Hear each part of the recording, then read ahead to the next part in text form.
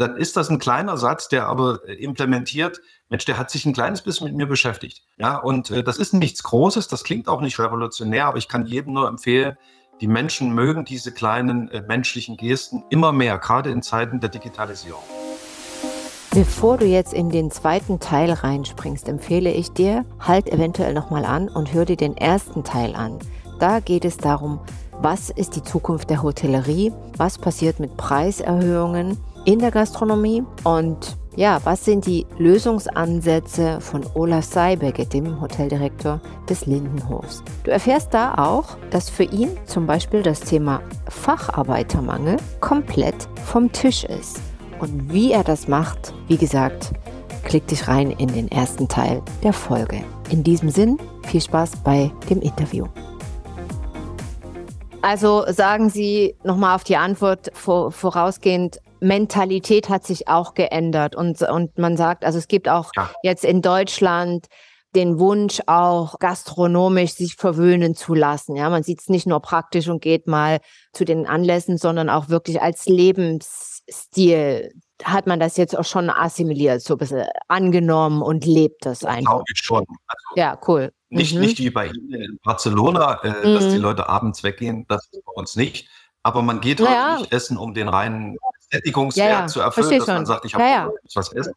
Also es werden Anlässe kreiert, das glaube ich schon. Und wenn, wenn Sie jetzt sagen, kämpfen Sie denn eigentlich mit Booking, also mit den OTAs, also mit den Online-Travel Agencies, wo Sie sagen, oder haben Sie einen Großteil Ihrer Gäste, die direkt bei Ihnen buchen? Wie ist da das Verhältnis? Also ich kämpfe, ich kämpfe mit niemanden äh, von, hm. von den OTAs, weil das sind ja meine mhm. Partner. Also ich, ich empfinde, äh, egal ob Booking.com, HRS und, und Hotel.de, mhm. das sind für mich Partner, die mir im Grunde helfen, eine Erreichbarkeit in Amerika bis zu Ihnen nach Barcelona. Also wenn Sie jetzt mhm. aus Barcelona ein Hotel in Gotha suchen, dann hätten Sie vor 15 oder 20 Jahren wahrscheinlich einen Aral, Schlemmer und Schlummeratlas genommen. Dort waren zwei kleine Bilder und fünf Piktogramme.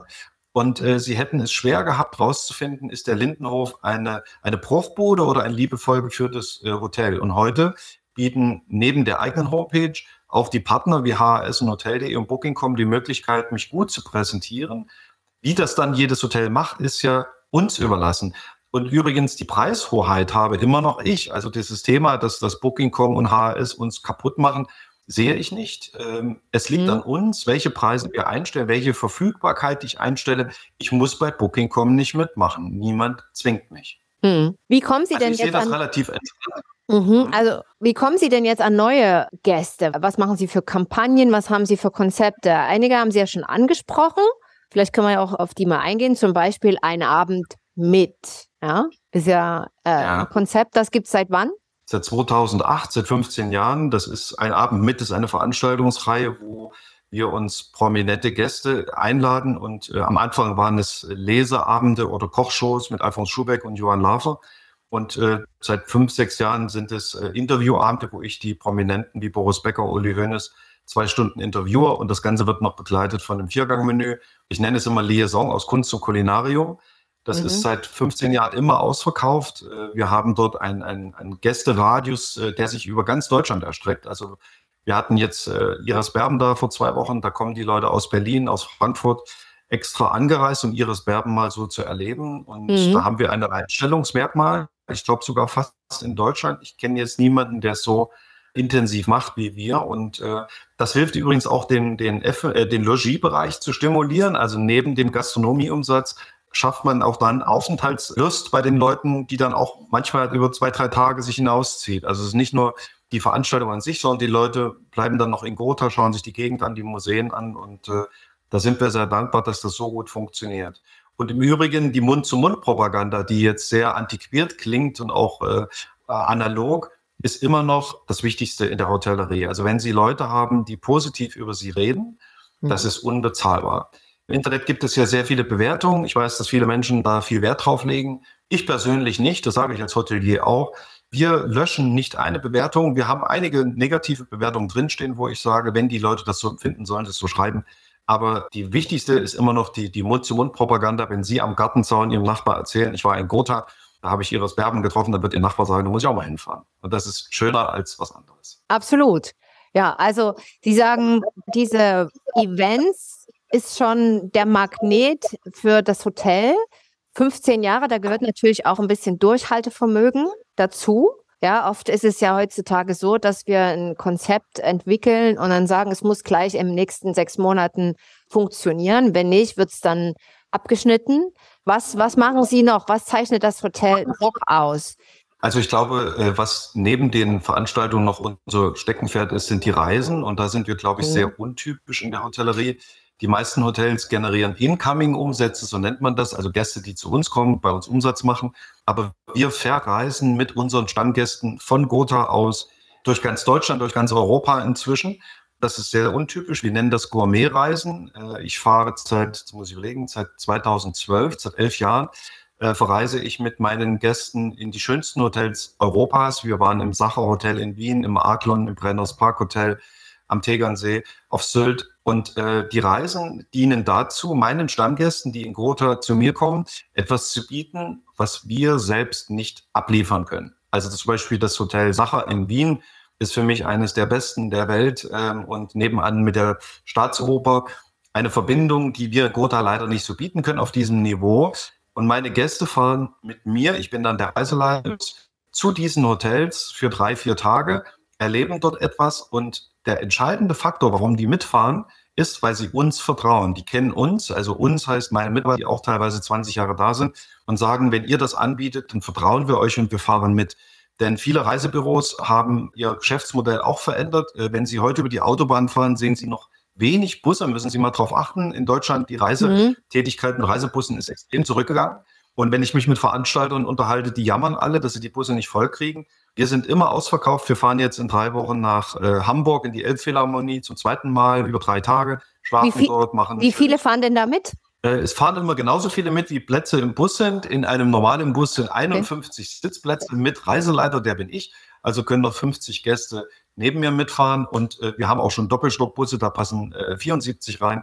Äh, wobei ich das nicht mehr so gerne mache, weil da lernt man übrigens auch dazu, Doppelstockbusse passen nicht durch alle Brücken durch. Und wir haben schon manchmal Fahrten gehabt, wo wir dann riesen Umwege fahren mussten, weil wir nicht durch eine Eisenbahnbrücke fahren konnten, wenn wow. man so im ländlichen Raum unterwegs ja. ist. Von daher fahre ich mit einem einstöckigen Bus und das sind 50 Gäste. Das sind Menschen natürlich etwas gesetzteren Alters, sagen wir mal ab 65 plus. Und die genießen das, dass, dass sie gut betreut sind, dass sie sich sicher fühlen. Da sind auch viele Witwen um die 75, die vielleicht sonst Angst hätten sich einem Reisebüro anzuvertrauen, weil sie nicht wissen, wer begleitet uns und hier werden sie gut betreut. Das ist ein riesen Geschäftsmodell. Wir machen da im Jahr fast 400.000 Euro Umsatz, also das ist schon nicht wenig. Und vor allen Dingen, wir bieten unseren Gästen etwas, was wir nicht leisten können, aber ihnen dann trotzdem ermöglichen. Wow, also Hut ab. Ich würde mal sagen, wenn es heißt immer, machen ist wie wollen, nur krasser, dann kann man schon sagen, Sie sind ein Macher oder? Ja, gut, auch wir müssen gucken. Ich habe ja vorhin gesagt, Kerngeschäfte analysieren. Äh, mhm. Und auch, wo ich gesagt habe, wir müssen schnell zu Geld kommen nach Corona. Am Ende muss ja jeder gucken, was gibt der Markt her. Wobei ich glaube, der Schlüssel äh, für diese Reisen ist halt auch wirklich ein sehr enger Kontakt zu seinen Gästen. Also wir, wir mhm. sind sehr nah dran. Wenn jemand seinen 60., 70. Geburtstag feiert, dann bin ich da. Ich äh, gratuliere dem Jubilar und dadurch entsteht eine sehr hohe emotionale und persönliche Bindung. Das ist ja das, was oft in den großen Hotels nicht mehr vorhanden ist. Äh, man sieht den Direktor nicht, man findet dort diese, diese Herzenswärme nicht. Das ist ja die, die, der Vorteil der Privathotellerie. Also ich glaube, wenn kleinere Betriebe äh, mich fragen, ich bin oft äh, auf so Tourismustagen eingeladen, nächste Woche auch wieder in Bernigerode. Ich kann den kleinen Hotels nur empfehlen, pflegt euer, euer Personal, eures Hafensilber und seid nah an den Gästen dran, hört den Gästen zu, ältere Menschen sind in der Regel wenig wechselwillig. Also wenn die ihnen vertrauen, dann machen die von der Schuleinführung bis zur Todesfeier, äh, sagen wir mal, alles bei ihnen. Aber sie müssen auf dem Weg präsent sein. Sie müssen auch mal Kritik aushalten. Und dann haben sie das äh, stabilste äh, Kundenklientel, was sie sich überhaupt vorstellen können. Und jetzt die Frage gleich danach, wie schaffen Sie es, dass Sie das auch an Ihre Mitarbeiter vermitteln? Weil Sie sind, Sie können sich ja auch nicht klonen und überall sein. Wie schaffen Sie das? Ich glaube, Ich glaube persönlich, Mitarbeiter orientieren sich immer am Verhalten des Chefs. Äh, das fängt davon an, wie man durchs Hotel läuft, ob man Mitarbeiter grüßt oder sie nicht wahrnimmt. Ähm, ich glaube einfach, also wir trainieren unsere Mitarbeiter jetzt nicht, was sie zu sagen haben. Ich versuche bei der Auswahl der Leute, wenn ich jemanden einstelle, mehr auf die menschliche Eignung, auf die Empathie zu achten. Also wenn ich sie einstellen müsste und äh, habe tolle Zeugnisse von ihnen, aber nach fünf Minuten habe ich das Gefühl, wir sind nicht mal in der Lage, ein vernünftiges Gespräch zu führen, dann würde ich sie nicht einstellen.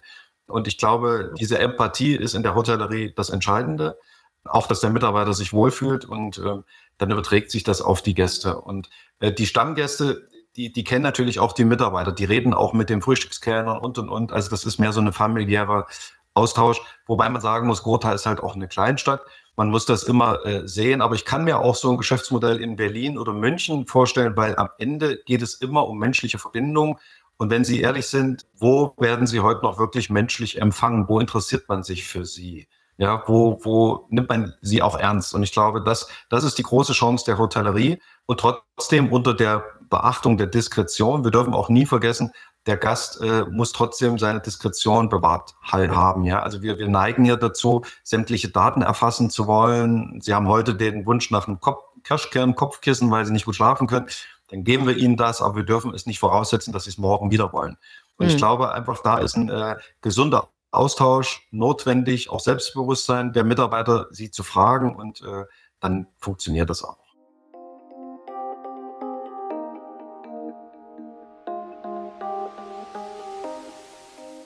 Gibt es im Hotel Lindenhof ein bestimmtes Werteset? Ist das definiert? Eine Mission? Was ist Ihr Leitsatz im Hotel?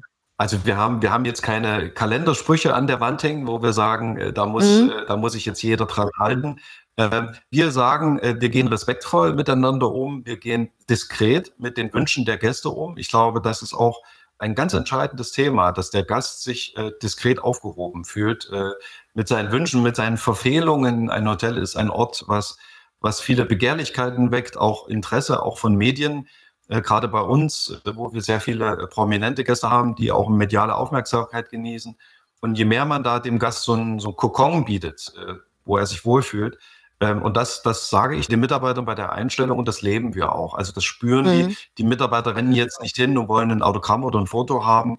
Das kriegen sie auch so, das organisieren wir, wenn jemandem das wichtig ist. Aber äh, wir lassen unsere Gäste in Ruhe und äh, das überträgt sich und die Mitarbeiter, die lange da sind, die leiten die Jungen dann an. Also da gibt es jetzt keine Kalendersprüche, die irgendwo hängen und mhm. sagen, äh, so müsst ihr euch verhalten. Jetzt mal eine persönliche Frage, Herr Seibecke. Wenn Sie mir das so beschreiben, wie, was Sie alles tun, also Sie gehen auf Reisen, Sie machen den Abend mit, Sie begrüßen dann wahrscheinlich auch Iris Berben äh, oder ähm, Stefan Effenberg, Sie äh, leiten Ihre Teams an, Sie ähm, kümmern sich um Azubis.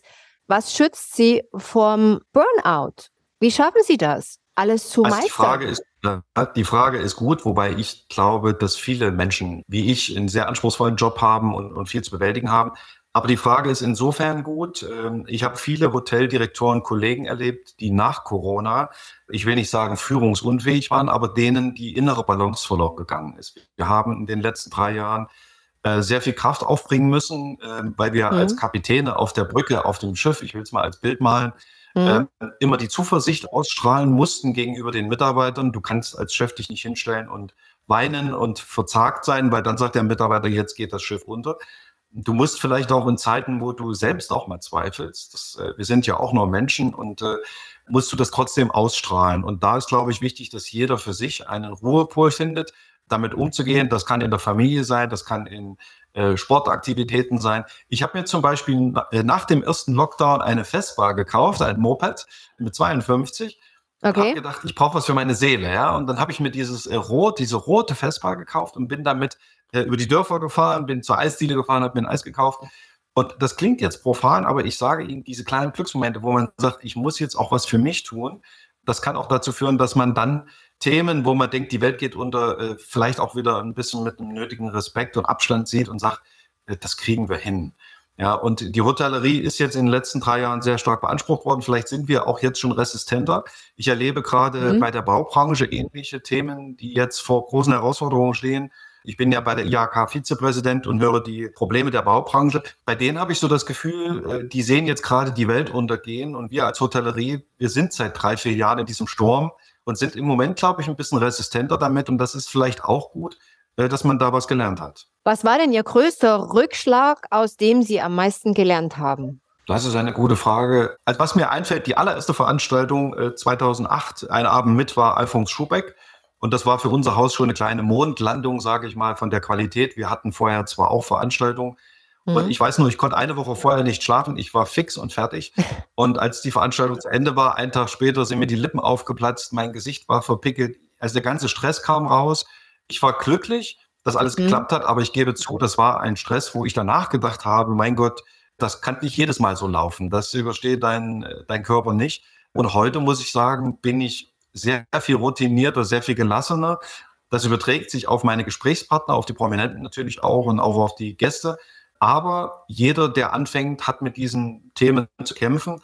Wichtig ist nur, dass man dran glaubt und dass man nicht äh, auch von Rückschlägen, ähm, wenn man sagt, oh, das lief heute mal nicht so gut oder ähm, dass man den Fehler nicht nur bei sich sucht, sondern sagt, es gehört auch mal dazu, dass es mal nicht immer nur nach vorne geht. Was ist Ihr persönliches Motto? Dann in solchen Momenten? Ich, ich sage mir immer, wenn wir alles getan haben, was in unserer Macht stand, und Corona zum Beispiel stand mhm. nicht in unserer Macht, wenn wir alles getan haben, wenn wir gut gekocht haben, wenn die Mitarbeiter fleißig waren, ich war gut vorbereitet und dann läuft etwas schief, dann sage ich, vielleicht sollte es so sein. Also ich bin inzwischen wirklich sehr gelassen okay. mit, mit Problemen, weil ich, äh, ich bin auch kein cholerischer Typ. Vielleicht liegt das daran, dass ich äh, früher Schach gespielt habe, auch Leistungsschach. Ich habe äh, auch bei DDR-Meisterschaften damals mitgespielt und die Eigenschaft eines Schachspielers ist, dass man versucht, mehrere Züge vorauszudenken und so die Konsequenz seines Handelns sich zu überlegen. Und das ist, glaube ich, auch im Arbeitsleben gut. Das heißt, wenn man, bevor man cholerisch Mitarbeiter anschreit, erstmal überlegen, was ist wirklich passiert, ein bisschen reflektieren und das tut mhm. dem ganzen Umfeld auch gut. Übrigens auch der eigenen Gesundheit tut das gut. Von daher, das kann ich jedem nur versuchen mitzugeben, immer noch mal Luft holen, äh, bevor man da gleich aus sich rausschreibt. Okay. Sehr Weil gut. am Ende muss man sagen, wenn ein Gast mhm. sich beschwert im Restaurant, dass das Essen mhm. nicht gut war, dann, dann muss man ja immer mal hinterfragen, was ist denn der Grund für die Beschwerde? War das Essen wirklich schlecht? Dann müssen wir uns entschuldigen, keine Frage.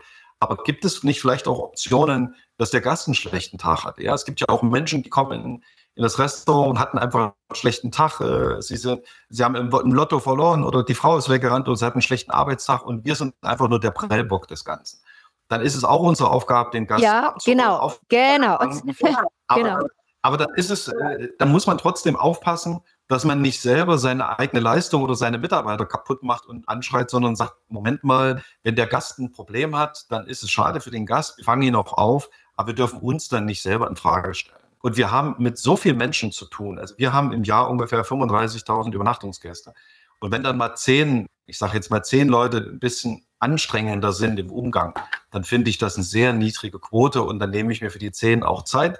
Das kann auch ein bisschen Spaß machen, Reklamation. Im Übrigen ist eine Reklamation auch eine Riesenchance, selbst zu lernen und vielleicht den Gast auch als besten Stammgast zu gewinnen, wenn sie gut damit umgehen. Absolut.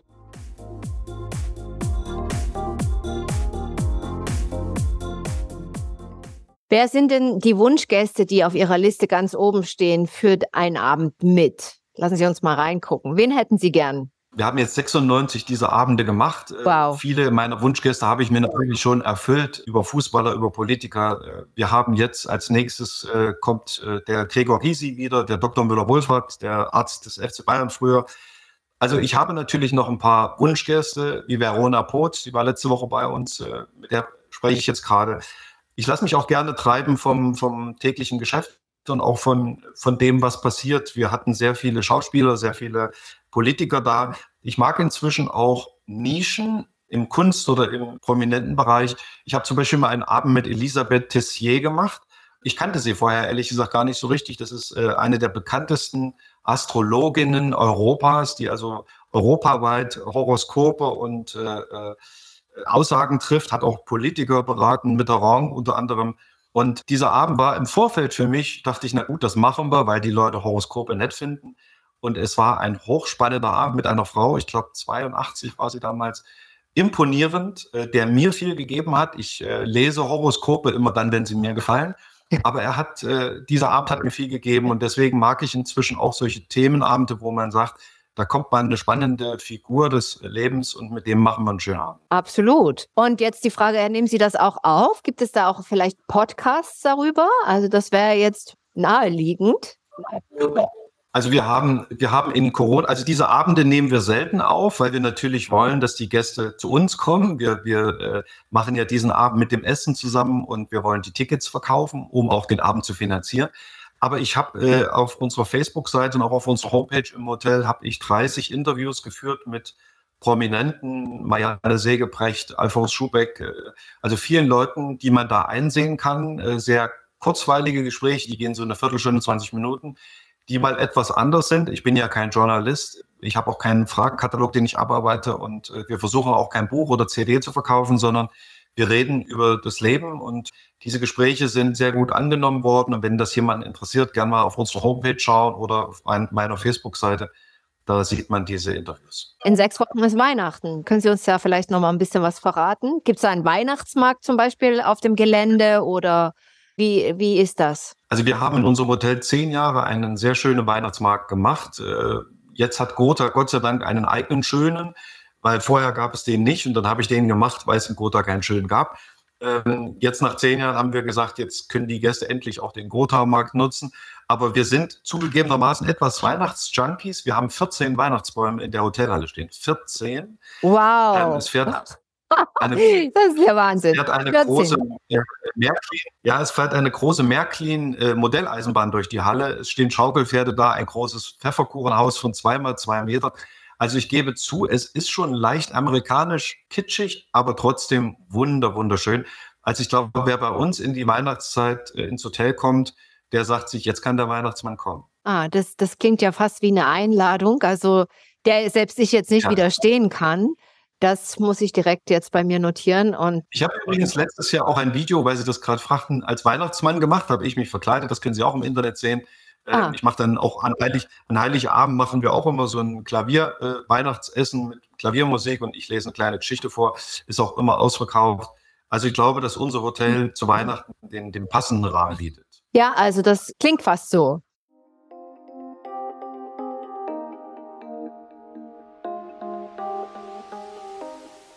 Herr Seibeke, wir haben ja diesen Podcast oder ich habe den Podcast ins Leben gerufen, einfach auch den Unternehmen, die nicht in der Hotellerie äh, zu Hause sind, eben diese CX Tuning Hacks zu geben und zu sagen, Customer Experience, das geht heutzutage jedes Unternehmen etwas an, die mit Kunden und Partnern zusammenarbeiten.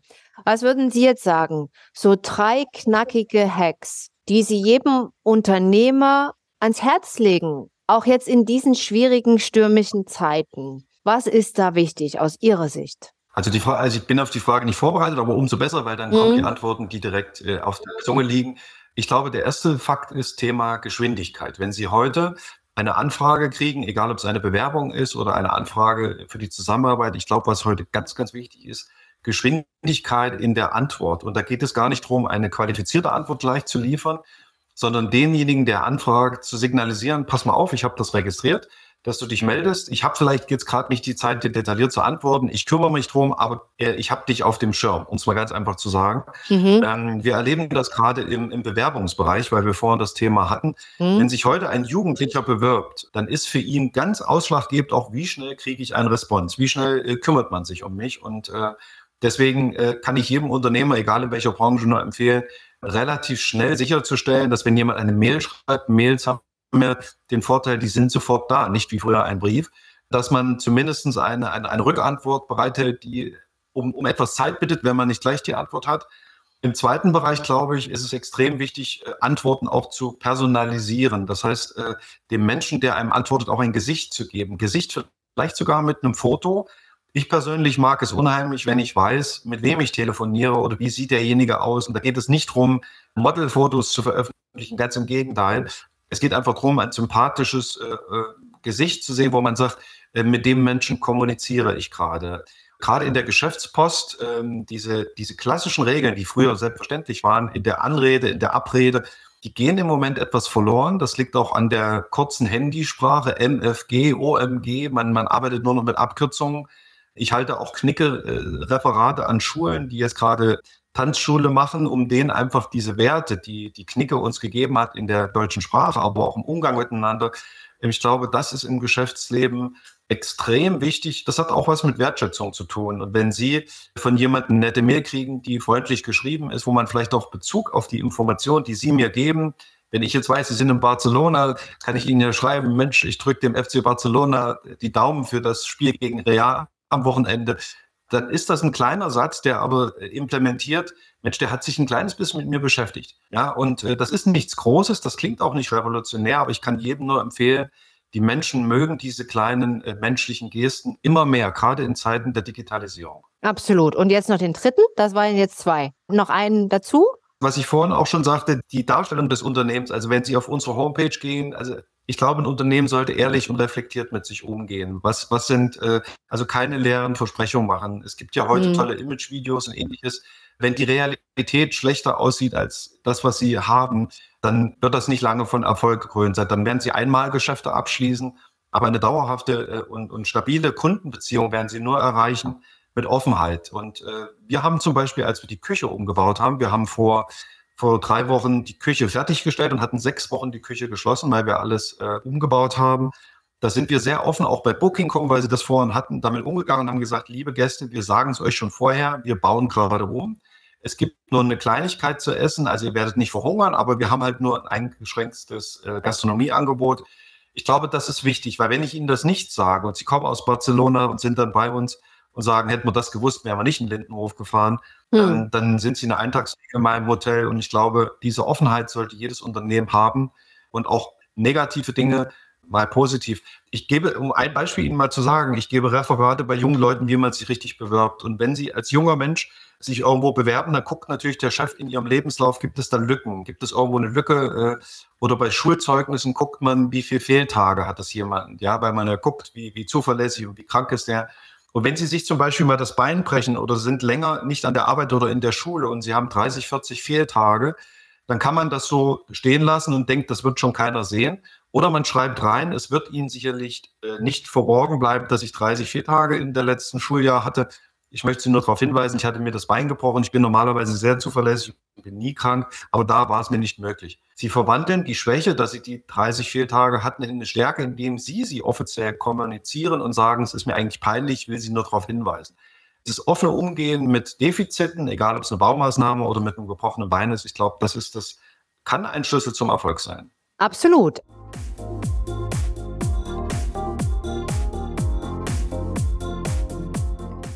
Vielen Dank, Herr Seibecke, für die letzten, also für die drei äh, Hacks. Jetzt zum Schluss, das ist jetzt so Tradition im CX Tuning Hacks Podcast. Gibt es noch so ein paar Fragen, wo ich immer den meinen Interviewgast noch ein Stück näher kennenlerne?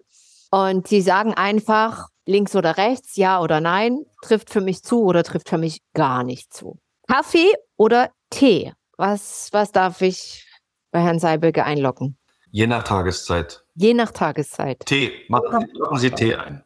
Tee. Food and Beverage oder Rooms Division? Was liegt Ihnen mehr? Wo, wo schlägt mehr Ihr Herz als Hoteldirektor?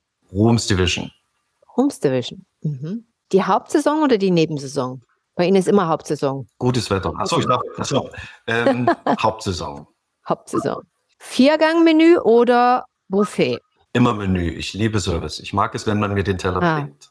Ah, sehr schön. Herzhaft deftig oder leicht vegan? Nie vegan, herzhaft deftig. herzhaft deftig. Ja. Meerprise oder Bergluft? Bergluft. Bergluft. Sylt oder Rügen? Sylt. Liegt daran, dass ich da selbst gearbeitet und gelebt habe. Ja, da ist man einmal der Insel verfallen. Einmal Einmal Sylt, immer Sylt. Ja, geht, geht mir auch so. Ich habe heute gerade heute früh aus der Sylt-Tasse meinen Kaffee getrunken mit der Insel vorne drauf. Kaminabend oder Weihnachtsmarkt? Kaminabend. Kaminabend. Sind Sie ein Last-Minute-Bucher oder lang geplant? Sie selbst?